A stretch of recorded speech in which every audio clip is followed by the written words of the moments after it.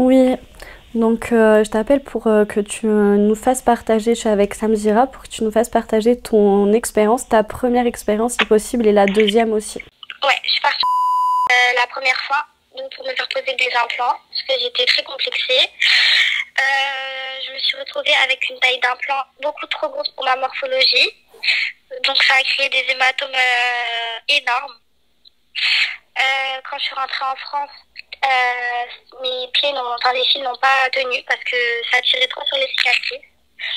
Et donc euh, suite après ça, j'ai été hospitalisée euh, plusieurs semaines et on m'a retiré mes implants parce qu'il y avait des signes infectieux. Donc j'ai essayé d'appeler après, enfin la clinique a essayé d'appeler l'hôpital après sans réponse, j'ai jamais eu de réponse de leur part. Et j'ai fait l'erreur il y a quelques semaines de repartir en pour me refaire poser des implants fessiers, donc dans la même clinique et avec le même euh, docteur. Je sais pas si je peux dire son prénom. Non, ça ira. Donc euh, voilà. Et euh, bah, suite à ça, je suis rentrée, normalement tout se passait bien, je suis rentrée en France et il y a quelques jours, j'ai appris que j'avais une infection des deux, des deux prothèses et une septicémie. Ok, alors là c'est Sam Zira qui te parle, merci pour ton témoignage. Là tu es sur le point de te refaire opérer au moment où on parle, c'est ça? Dans quelques minutes, ouais. Dans... Vraiment, je suis allée prendre euh, ma douche, etc. Et j'ai essayé d'appeler la clinique, un numéro post-opératoire euh, après, donc sur lequel on peut appeler.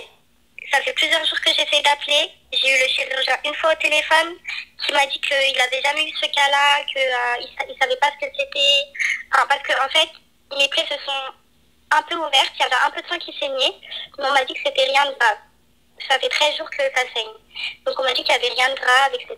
Je suis allée faire une prise de sang. Euh, mon taux de globules blancs était élevé et c'est là où je suis allée consulter à, l'hôpital et qu'on m'a annoncé que j'avais une infection. Que t'ont dit les médecins français? Bah, Quand c'est fait euh, à l'étranger, ils veulent pas trop reprendre le travail parce qu'ils ont peur que ça se retourne contre eux, c'est normal, mais euh, ils trouvent ça aberrant qu'il n'y ait pas de suivi post-opératoire. Que euh, quand ils essayent de joindre l'hôpital euh, de là-bas, ils, ne répondent pas. Aujourd'hui, est-ce que tu es en contact avec euh, d'autres jeunes femmes comme toi qui ont, eu ce même souci? Oui, pas de la même partie du nez, mais j'ai fait la rencontre d'une jeune fille. Mais donc là-bas, elle est venue de suite pour se refaire le nez parce qu'elle avait une grosse bosse sur le nez et elle voulait le raccourcir. Et donc on l'a opérée.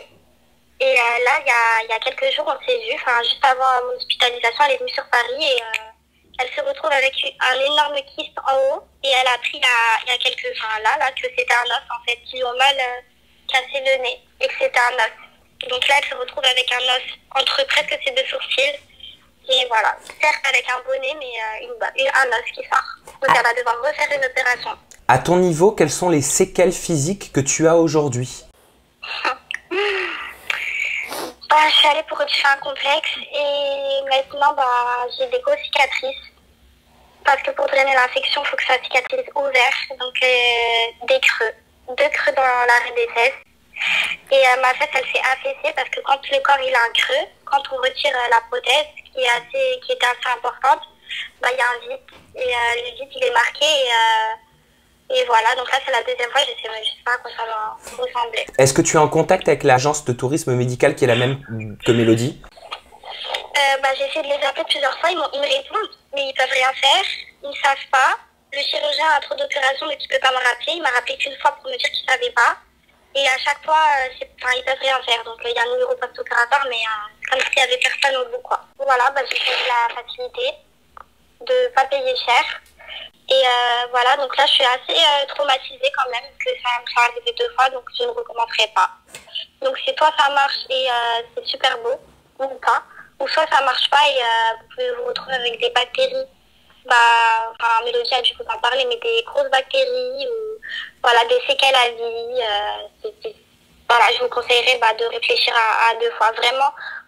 Ou si vous voulez le faire, d'aller dans un institut correct, quoi mais pas là où c'est le moins cher. Je te remercie pour ton témoignage et je te confirme euh, que ta voix est modifiée, non pas pour le style, mais parce que tu m'as demandé de, ne pas être reconnue, donc je respecte cela, ok? Merci beaucoup, c'est gentil. Je laisse Mélodie te dire au revoir et courage pour ton opération. Tout va bien se passer. Merci, je suis merci. Allô? Allô? Oui. Allez, je t'embrasse et bon courage pour euh, l'opération. Ça, je t'appelle après. Merci beaucoup. Bisous, bisous.